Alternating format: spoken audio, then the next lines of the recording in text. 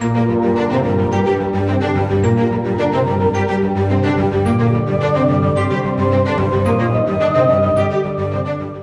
is up, everybody, and welcome to this special in between season episode of Pop Stream. I am your Pop Stream host, Matt Slater. You can find me at Matty Slay on Twitter, and with me is our other host of Pop Stream, Tajshen Campbell.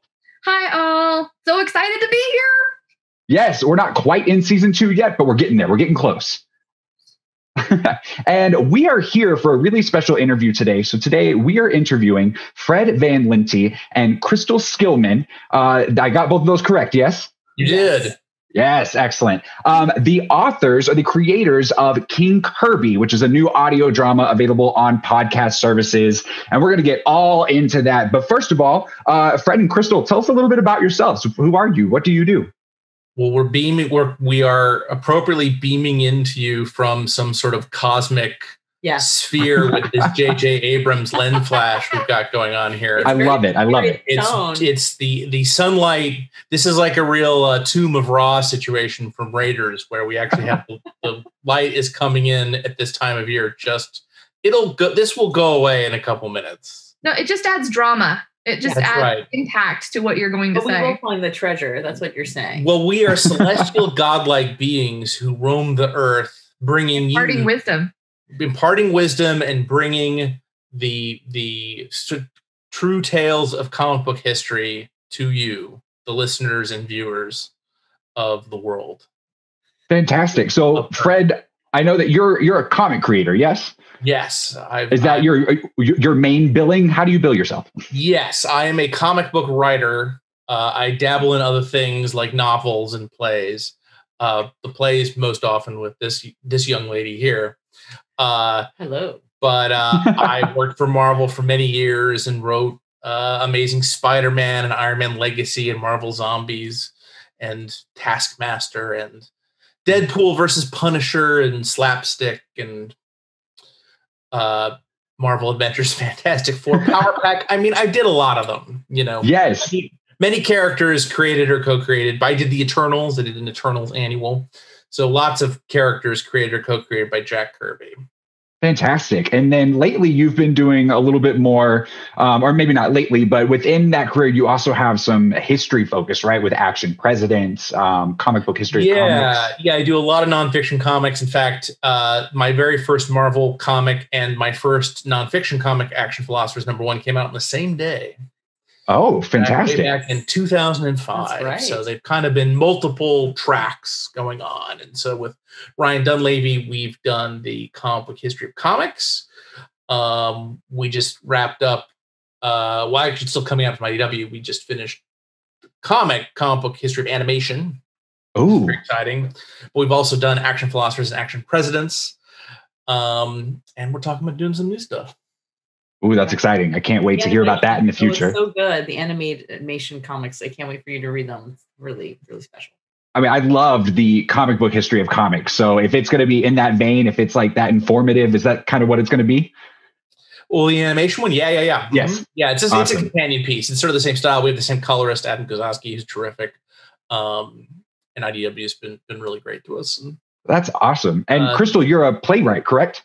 Yes, yes. Uh, Yep, and I and I write, and now uh, you know we've kind of uh, you know comic book writer, playwright, and then Fred started to write plays, and I started to write comics, and so it's it's our house is piled up with different uh, media and different ways of working. Um, so yes, I'm, I'm known as a playwright. I wrote a play called Open that um, happened uh, a couple years ago that um, has reopened uh, work for my plays like Rain Zoe Save the World and Pulp Verite, which was just shown at the Playwright Center. And then the book writer of a lot of musicals. I'm the book writer of Mary and Max, the musical, um, which has had two showings overseas and um, it's getting optioned. And it's based on the black and white playmated uh, film by Adam Elliot, which is a really beautiful film. Bobby Cronin um, is the composer of that. Bobby Cronin did the com- uh, composition for King Kirby, the audio drama, which I know we're going to get into. Mm-hmm. Um, yeah, so comics, and our comic book is Eat Fighter that we've written together on Webtoon. Um, yeah, and uh, there's an educational component to a new young adult uh, comic book that we're kind of batting around too.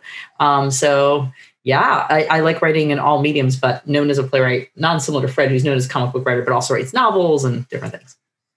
This is so fantastic. My undergrad is in theater, and then I transitioned to education and teaching after that. So I'm just like my nerd senses are, are tingling a lot right now. We'll try not to go down too many rabbit holes. That's me. I know like all in that same area.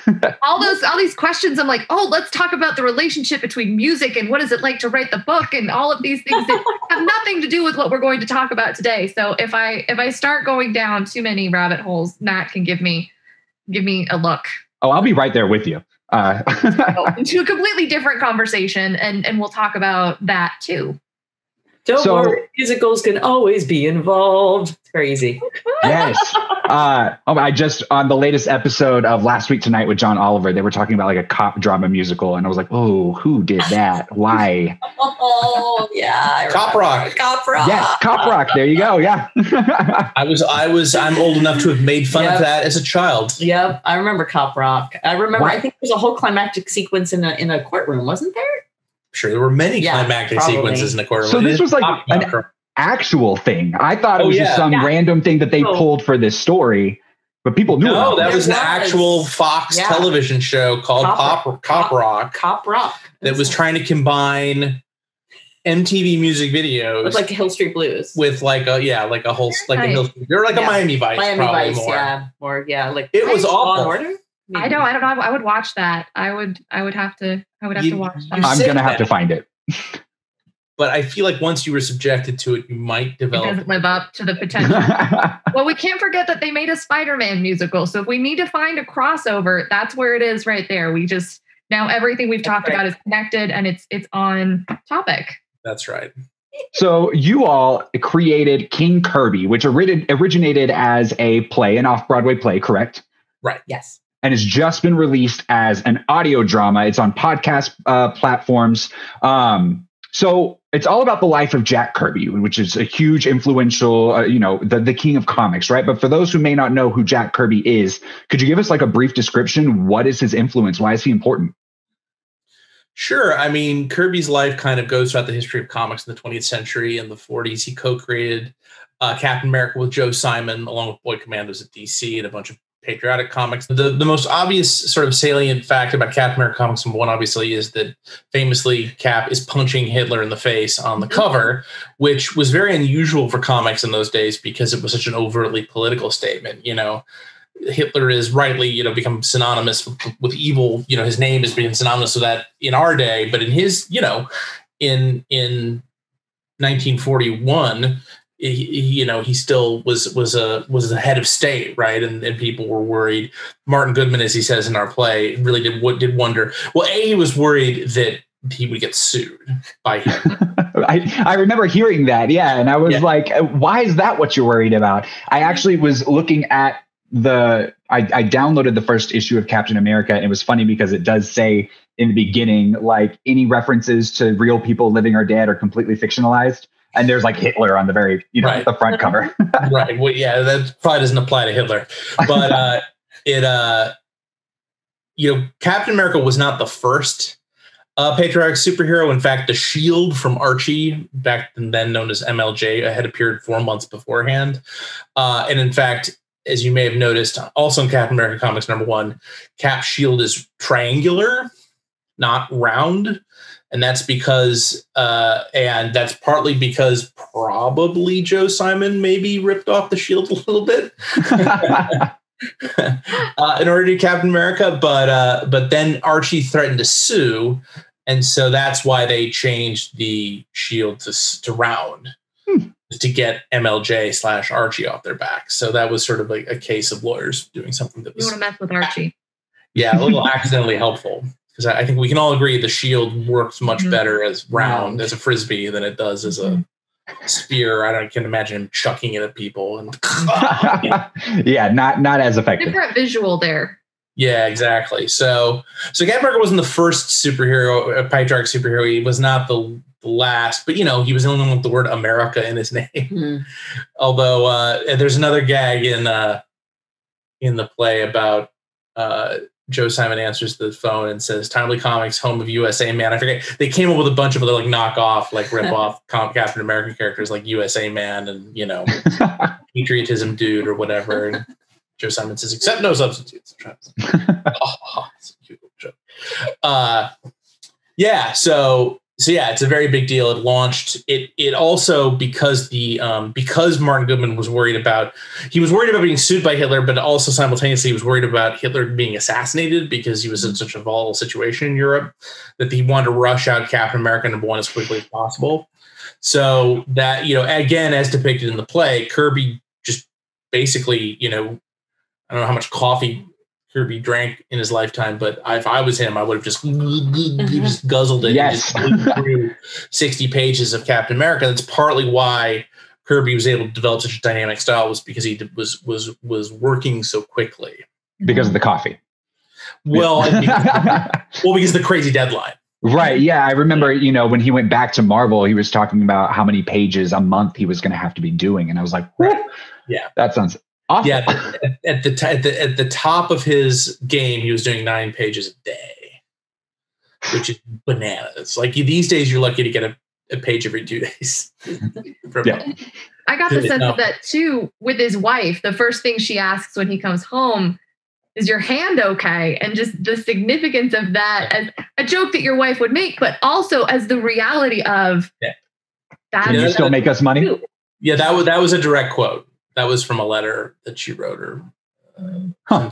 Kirby said so. That was that was. Uh, They that really was had re- these letters. yeah. Yeah. On which we have like a little sequence with them. Mhm. Like then he went off and fought actually fought in France in World War II. Uh, so he's like one of the few superhero comic artists who we actually know killed somebody. They draw fighting all the time, Mhm. but you know, remarkably few people have actually killed anybody. And uh, and then he came back and with again with Joe Simon created Young Romance and a lot of the iconic romance comics of the late 40s, early 50s that Roy Lichtenstein and later pop artists used as sort of the big iconography of that era. And then he kind of bounced around once comics got into serious trouble um, through the Wertham purges uh, and that whole scare in the 50s and wound up at Marvel where he worked with Stan Lee and did Fantastic Four, Hulk, Thor, Avengers, the X-Men, Iron Man, Nick Fury, Agent of S.H.I.E.L.D. Pretty All the ones that the kids love these days. Yeah, That's right. The universe you know today, the Marvel universe. Had a significant hand in creating Spider-Man, although Dit- Steve Ditko was the main sort of driving force there. Um, but then um, sort of fell out with Stan because Stan really had this uh, burning need to take credit for everything. Went to DC, went back to DC for the third time. I didn't even mention the second time he went to DC. That's Green Arrow and Challengers the Unknown, and a lot of other things. Uh, he went to DC where he created uh, the New Gods, Darkseid, Mister Miracle, the Demon, my personal favorite, uh, Kamandi, and then ended up back at Marvel for a third time. So yeah, three. So started out Marvel. Okay, right. Back at Marvel for the third time, where he created the Eternals, Machine Man. He had a very lengthy run on Captain America again. Um, his third run on Captain America. Uh, that time, that's when he was paired with the Falcon. Mm. Fans of the Falcon, uh, uh, upcoming Falcon Winter Soldier series. Um, So if you're a fan of a comic character, there's a pretty big Yes. chance that Kirby had his hand in it somehow. he's he is without question the single most important figure in superhero comics. Period. I think is the simplest way to say it. Um, and, And we then, haven't even mentioned Wanda, um, and he's a That's true. vision, but he created Wanda. You know, Yep. so everything you see right The now vision- on TV. The vision we know from WandaVision was sort of based on a 40s vision character that he and Joe Simon created at the same time as Captain America, although the the android vision is much different. And then he spent a lot of the 80s fighting with Marvel trying to get his artwork back because Marvel was sort of using his artwork as a as a bargaining chip to uh, make sure that Kirby signed away all of his rights. Um, Kirby died and I believe it was 92 or 93 and uh, his heirs ended up suing Marvel, and Marvel ended up settling. I should say Disney settled with them before the case could go to the Supreme Court, Hmm. which I think all corporate owners of entertainment were uh, pooping their pants about because you know if the the Supreme Court did in fact. I mean, this court's so pro corporate. I don't know how Kirby could have won, but that's just my own personal political opinion. Mm-hmm. But anyway, they didn't want to take the chance because if the court had a precedence about work for hire, then a lot of these properties that they make a ton of money off of, you know, they would have ended up going to heirs of various creators. And like the week I think Yeah. the our show came out was when Disney settled with the Kirby family. When the original show came out. Right. And thank you. Yeah, in 2014. Yeah. 2014. Okay. So that was one of my questions is that this was originally written as a stage play. When I first heard that it was going to be on podcast services, my first impression was, oh, we're going to hear people talk about Jack Kirby, much like you just told us about Jack Kirby, right? That's Right. what I was expecting. And then, of course, when you get into it, it is an audio drama. It is a radio play, right? Fully produced with sound effects and everything. What inspired you all? Oh, yeah. I just wanted to say too, it's an audio drama that starts with the emotion and the connection with the character immediately.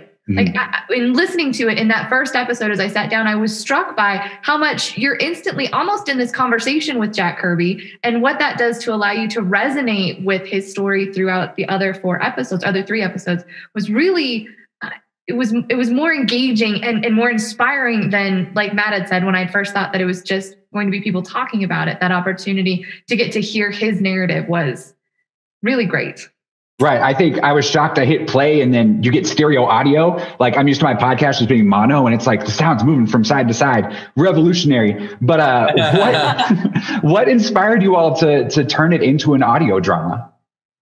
Well, we actually uh, it's it's been it's a little cult hit in a lot of ways because it had um, originally six performances, went to eight. It was a festival, so they they added on a few, and um, we were blessed with a beautiful New York Times rave. But really, we were just about to close, um, and at the same time, we were like, how do we share this with our uh, Kickstarter backers and all these sorts of things, and um, uh, you know, Fred had this great idea of recording audio, and so we did that. And this was the second For our. Kickstarter backers. For the Kickstarter because backers. we we funded the original production through Kickstarter. And so we wanted to give the backers, you know, a chance to actually hear the cast Mm-hmm. performing the show. and this was like 2014 and so we ended up um, the uh, doing this take at a comic book store in midtown comics that hosted us and they were actually going to put it uh, put And on they their taped it and all that stuff. Yeah. and uh, and we had such a great time and there was a lot of magical things that came together the actors were coming off of this performance it was a few months later but you know when you really connect to characters like these actors did you know it, it still lives in you it, it, it came into gear there were it kind of went into high octane with these microphones and there we, many of our cast are great uh, voiceover actors are known for that work as well including steve Rattazzi, who is the voice of dr orpheus um, and venture brothers and so you know the the work was great. We were proud of it. And then it really became um, kind of a pandemic project and that someone said hey i think this could be a great audio drama. We're like wait a minute i think we have that. Um, and uh, and then uh, the idea to bring in bobby cronin who i've worked with on, on musicals before and really give a score that gets you into the inner thoughts of kirby which is there structurally and in the play it's very moving too. Some people who know Kirby cry when they come in because you, you see him drawing. But here we wanted that act of, of the listening and hearing him draw and feeling like you're in his mind to be reflected by the music and sound. Um, uh, within the storytelling of these episodes. So it all just ended up being this great audio experience. At the same time, we began to do some scripted audio work, and I think we were excited to play with the audio form. Um, I love that plays are becoming audio dramas so much. It's great. Um, and and uh, but I definitely wanted it like when I saw when Fred realized these could be episodes, I got so excited because I thought the idea of it being a series, the idea of because if you go to a play and you sit for 90 minutes or so, you know, that's really cool. I want to bring you through that. I don't feel like my audio experience has to be that. And I'd rather you come back and I'd rather you think about it for a little bit and all these things. So it really has turned into an experience. It's so great to hear you say that, um, that, that, that is brings you into his world. Um, so we, we did a lot of crafting with structure, I guess, and uh, design, sound design um, with Bobby, um, which he did masterfully to create this specific audio drama experience. So all the voices though, all the the that was all originally recorded back in 2014 and you Yes. just kind of molded those into this drama. Exactly. Yes. Well, into what we it was already a drama, but you molded it into the the high production value that that we get now. Yeah, I mean, uh, if I remember correctly, the Brian folks at Midtown Comics recorded this. We did add some minor sound effects. Uh, in the original version, you had me, you heard me reading stage directions. Mhm. So for this version, we cut me out. I think we redid all this, most if not all the sound effects. Added a bunch of music and added a bunch of new sound effects. And so yeah, and so I think tweaked it a little bit. Like we added like a con, like a con announcer in one scene in the last one of the last scenes, and just it made it more you know more of a a seamless kind of dramatic um, you know, storytelling as opposed to, you know, scene five. but the script, comics offices, you know. the script is intact. You didn't really have to make too many changes. No, I don't think we changed Nope. a thing. Uh, there were some challenges with sound design in something that was uh, super visual, what you would see. But one of the things I found in scripted work and in tackling that challenge is if you've written something super visual, you probably got a good sound with it, right? Because it's that these things go together. Um, but the, the proposal sequence was something that that Fred had to kind of think through with Bobby. I Mm. think. Right. Yeah. But I, everybody gets it, you Yep. know, because he doesn't never says, you know, will you marry me? You just kind of get it from the audio, you know, because in the show, he pulls out the ring and she says, I do before he can ask her. Or she says, Yes. yes. Yes. Yes. Yeah. She says yes before he can, he can actually ask her to marry him. Uh, and so we didn't, so that was really the only sh- part of it. I mean, the show is very fluid and, you know, was in the black, black box essentially. So it Mhm. had, had minimal setting and minimal pro- uh, props uh, and costumes and stuff. And everybody except for Steve Rattazzi, who plays Kirby, had like a do- played like a dozen characters. So Sure. it really lent itself to to this audio space. Um, so were, was there an audience when you recorded this originally? Because you said it was at Midtown Comics. Were there people watching when these lines were being recorded? Four or five, you know, Helpers, friends. there yeah, there were people who worked at Midtown who were kind of like either helping or just kind of wanted to hear it and just kind of hung around. So not yeah. really, no. So, why do you think that this is such an important story to tell? Right? Obviously, there's lots of history here. There's some really intriguing things. Um, there's a lot of content for someone who's interested in the MCU and, and comics to dive in. But why is this an important story to tell? Well, I, I think it's uh, I think it's an interesting story because you know people you know generally don't care where their pop culture comes from. They think it's sort of cranked out by a factory, and I think it's important for people to understand that real human beings do this. So to so to me, it's really almost like a labor story. You know, like it's Mhm. uh, it's a story of working people. Uh, and we have a real tendency in this culture to really put down working people in a really offensive way. And I just think it's important to sort of raise some of these folks up to be the heroes they truly are, Especially in the arts. especially in the Yeah. arts. Absolutely. Yeah, it's seen as that like, and it's kind of addressed a little bit in the play. So so often the arts and even the comic arts are seen as like, oh, it's pulp, it's filler, it's not Yes. important, right? Um, Right. But clearly, it has such a huge impact on so many people that that in and of itself elevate elevates it up to that level of importance. Well, and it's art that's literature. You know, that's a lot of what the, the, the function of what you're doing. And um, uh, my pre-Fred comics universe was when I was like a teenager or late teens. I I, I saw maybe early twenties. I saw Maus, um, the original uh, uh, graphic novel, in framed at MoMA, and Room After Room, the, both books. Um, and I remember always uh, appreciating uh, graphic work, uh, novels, but I don't think to, I did to that extent where it was like that that experience was revelatory and um, to come back to to this you know also drawing is storytelling. So when we get into the meat and bones of what the story is um, in terms of the drama of it you know we have two two creators who see things very differently and and and how that happened. But we're really focusing on the life of kirby and then meeting this individual and what that becomes which who is obviously stan lee. Mhm. um, but it also really wonderfully brings you along on that journey of you know what is writing? What is storytelling? What is creation? Um, and when you are um, making a panel with all the action and someone's just maybe mentioned a couple words to for maybe part of a page i mean you yourself are telling that story. And so um, you know and what is that value? And how does that come back to pop culture and, and legacy? And I think one of the reasons why this is such a moving story is that, you know, sometimes the person knows their worth and they're fighting for that the whole time. I think what makes Jack such an incredible um, character in person is that he, of course, is super confident and and um, boisterous, but at the same time, he just wants to dream and he wants to to create and share. And he's in the beginning of an industry that didn't even know what it was. Like in one scene he's like comic books what's that? Like and it's, it's like it's brand new. You want to try it out? And he was like yeah. So like you know there he's at the birth of something. And uh and when we get into the stan lee talk about that like he had i love how fred puts it you know he just he really did didn't understand how this person could say that he made them because he knows the work he did. And uh, can I can I steal your line, or do you want to say that about the X Men? I love what you say. Um, yeah, yeah, I love it.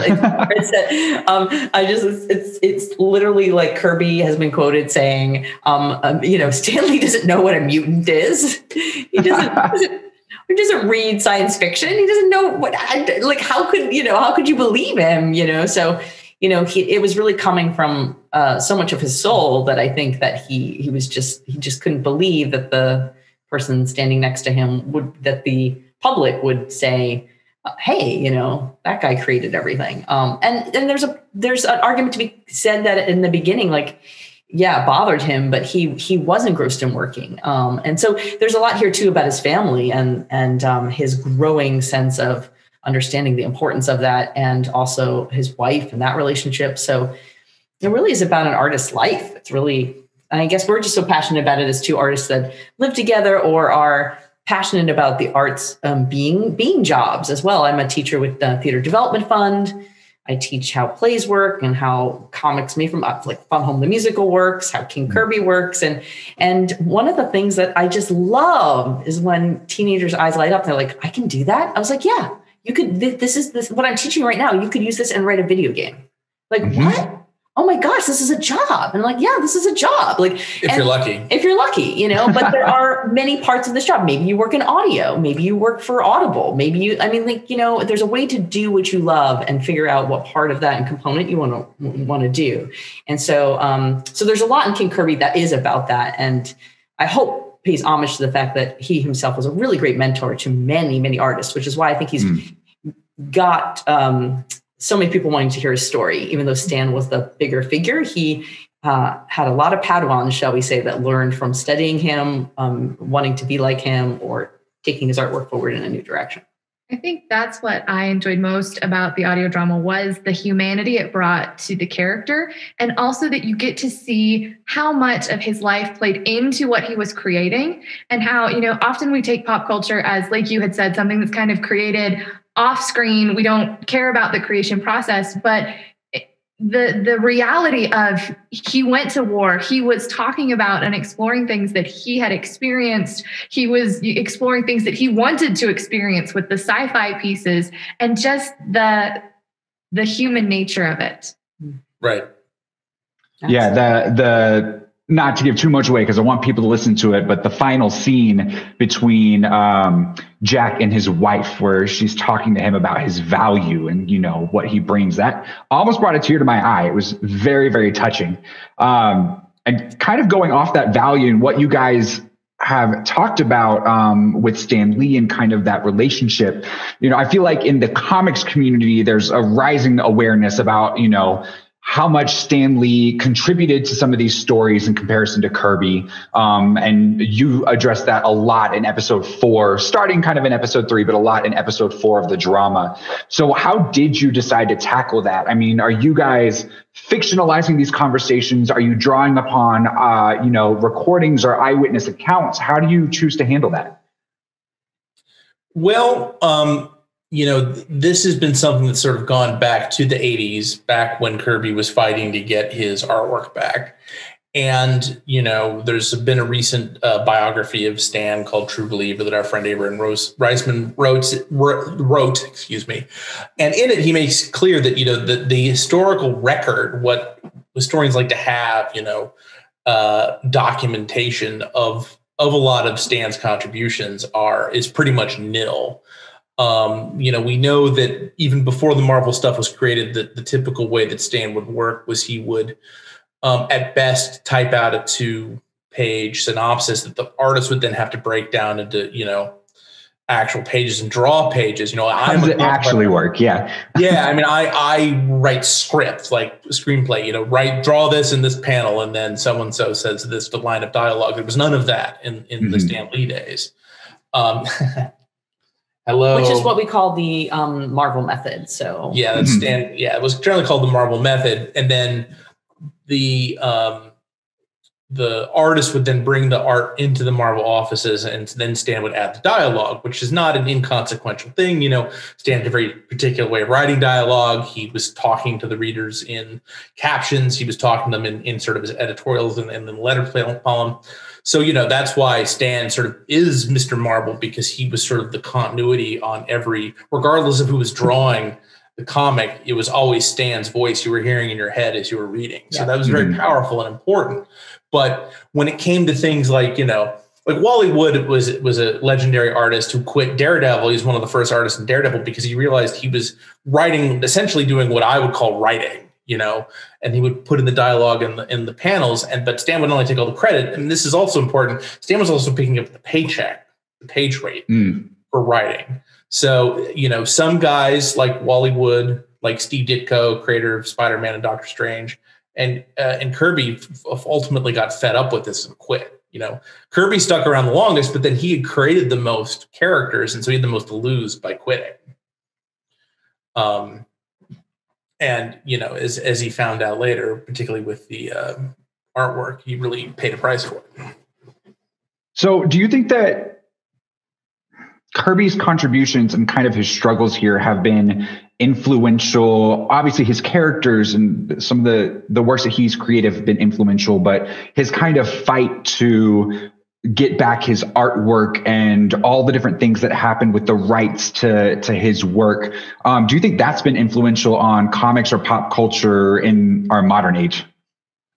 Yes, I mean I don't think I would get royalties for my Marvel work if it wasn't for Jack Kirby and the struggle of people like that, mm. and the hmm. struggle of guys like Neal Adams who fought to get Siegel and Shuster credit and compensation for. Um, do you want to be in the podcast, New? we welcome pets. We welcome children. That's right. He, uh, he likes rubbing his. He's a cat. He likes rubbing his face on things. So if you're only yes. listening to this and you hear weird scratches in the microphone, that's because our cat is. So for all of our audio listeners, that's what's going on right now. With his face, yes. um, uh, we've been doing solidly three weeks of these podcast interviews for King Kirby, and this is the first time he's suddenly decided for whatever reason. Yeah. He's, he's We're gonna, honored. He's going to have a close, good, good, close personal relationship with the microphone. Uh, yeah, no, I, I, that was part of a whole sort of '80s movement, you know. Frank Miller was somebody who was very vocal about trying to get justice for Jack, and a lot of while those creators ended up, you know, doing creator owned stuff like Sin City and Hellboy, and you know, a lot of those great creator owned works here in America wouldn't really. I mean, they, they were possible, but they wouldn't have been as um, prevalent, I think, and happened as soon if Kirby hadn't had to fight to get his artwork back in such a public fashion. And I think all sure. this conversation we have, especially now in the pandemic, is we're all creating. Um, I mean, the story, Kirby's story, very much you know, it's so great to hear the story in the pandemic because we're at a point in our lives where we go, why am I doing what I do? What am I passionate about? How, do, how does this work? Everyone's reevaluating. Yeah. Everyone's reevaluating. And so it, it, because you're on a life journey where someone's saying, you know, I think I've been exploited. What does that mean? Like, I, you know, I'm yet I want to keep creating. And, and what is that? So this conversation about IP that we have with all the works that we're creating, or if you're creating a new kind of work in the pandemic, maybe you're trying an audio drama for the first time or, or something like that. And you're weighing the possibilities of writing a story for someone and they own it or owning it yourself, which is more independent, but you have the IP, right? Or sometimes a mix um, depending on where. And um, you know, it's it's everyone is is starting to understand that owning the property is extremely valuable and important, and it's a value of yourself and your work and what you're doing. Um, or if you're going to give it away, that you understand you're giving it away, and you can make your peace with that. Um, so, so there's a lot in this conversation about art and work that's very valuable for artists to think about, and it's something that also has gone over uh, pretty minutely in um, comic book histories of comics. I feel mm-hmm. like you really kind of hit the nail on the head about what it meant for work for hire and the dawning of that and re- rebelling against that. Mm-hmm. Yeah, I, it's funny that you bring that up because I that's like my comic book textbook is that's how I know my comic book history. Um, I think that this audio drama, King Kirby, is you know it is so engaging and interesting to listen to that you don't have to be a comics fan in order to enjoy the story that's being told, right? Um, but for an average fan or someone who's really into the MCU, um, do you think they need to know anything before they dive in, or do you think this is a good starting point to kind of learn that history behind these characters that you love? Before they dive into King Kirby, I don't yes, think. So. Yes. It, I think it's a pretty self-contained story. I mean, this guy's life is just kind of amazing. You know, like I, I, don't. I, even if you could give, you know, even if you could care less about comics, I think it's really interesting. Yeah, we really um and it was great to see how it um sound wise works in the audio drama and like like we were talking about really connects you. Um, but also in the play, you know, there were a few drafts of this play, and Fred had written a whole draft years before he we had an opportunity, and then I started giving notes, and he put my name on it. I was like, "Oh, we're we're working together on this," and it was. I dragooned her. Yes, it was great. I do that to my husband all the time. I'm like, "Oh no, you're you're involved now. Uh, get on get on board." um, but I think uh, you know this. I knew him working at the table would be very exciting, but and I believe it was Fred's idea of starting with the auction, which you know, in which we really are brought into the fact that these priceless pieces of art are being sold at a, at a price that he will never see, and and I think any audience member is instantly you know into the dramatic question, which is how did you know how did that happen, and how can he let his worth be taken from him and was it? And like what is that? And like so then we we explore that story. So because it's framed that well that but that way i think anyone is intrigued. Some people have actually called it a pop culture um, death of a salesman because it has a working class kind of um, uh, questions and um, uh, between art family life. Work, yeah, I can totally see that. at all ages too, because you see him. I think starting at age ten, um, uh, and Stephen Rattazzi does a great job. You also see Nat Cassidy go through several ages, and Joe Simon as well. Mm-hmm. Um, and it's really neat to see to see that. And Roz, of course. Joe Mathers. Joe Mathers, yes. So I listen to King Kirby on Apple Podcast. Usually, when I listen to my podcast, I'm at the gym, I'm cooking dinner. Quickly realized this was not the way to listen to King Kirby. How do you suggest that people listen to King Kirby? Um, yeah, we uh, the great Rob Salkowitz, the the the journalist, did. Uh, we actually have an upcoming. There's a fifth episode coming out. Uh, fantastic! That is going to be a roundtable discussion with the cast and crew. And Rob oh, yes. says that he was listening to the podcast while working out, and he injured himself slightly getting so involved in the story that he wasn't paying attention how many reps he was doing, and pulled a muscle or five. So don't do that, kids. Don't do that. Maybe, uh, you know, get a bottle of wine, sit down on the couch, you know, sure. Make sure you can focus. Get an old timey radio, put it in front of a roaring fire. There you go. I like that. It's like an old time 30s or 40s kind of radio production. I, I do have My parents had records of those that I used to listen to when I was a kid. So this is sort of oh, all very right. natural for me. And I, I like, um, I have, okay, because of the pandemic, I bought something that can hold a camera that you can move so you can be free for all. I mean, like, uh, the cool people had this before. I was fifteen dollars, and I like when this all went down, and I finally went in the store. I was like, I'm gonna get this, and it was like, oh, it's thirty dollars with the light. I was like, I don't need this light. And so, but what I love is that like it's like this robot arm I can put anywhere. So I actually put my phone up while I'm doing the dishes or something else, and then I just press play and I just play it out to the room. Or like I love, I love, and I guess you could just do that with um, you know, talking to your robots or whatever. But I always think that's the most fun is that it's kind of surrounding you while you um, you know, do something. And I do have to say, it makes you want to. Now we, you know, we can Google everything, obviously. So you know, just anything you hear, you know, just look up the images too if you're interested in. Like, I mean, you don't need them to to when you listen to the audio drama, but it's kind of neat because you'll probably come off of being like, huh, I want to scroll or take a look at that cover again. Where can people find and listen to King Kirby right now? Well, anywhere uh, you get your podcast, it's on uh, Apple, Google, Spotify. You can go to Broadway. It's on Broadway Podcast Networks. You can go to the website, and if you really think you would like Broadway podcast, their Broadway podcast just this week launched an app you can get from the uh, Android and Apple stores and download, and and King Kirby and all of the uh, all of the fine shows at Broadway Podcast Network are available on it. Yeah, and they have a lot I, of musicals on there. It's really fun.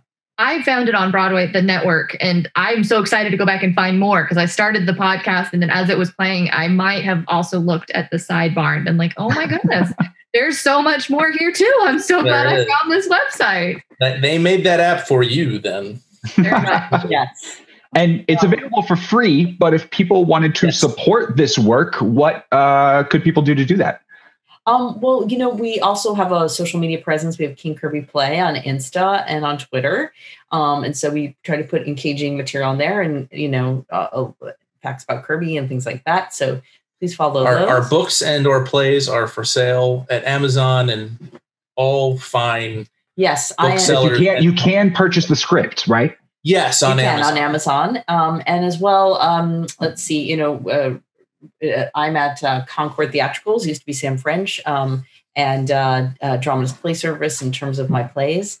And let's see, that's that's the most upcoming. It's really plays right now that you can buy. Um, and I'm proud that the audio dramas are, are free. Um, so Are the Right now- rights are the rights to the play available to purchase if someone wanted to put on this play? Yep. Yeah, they just have to get in touch with us. Um, uh, we have like you know different. We have so many. We have lawyers and agents, all sorts of things. But what, all all that one does is uh, they just say the number of performances, and and and that would be it could be live streaming, it could be whatever, and then we would just uh, do a simple simple contract, very very easy. Awesome.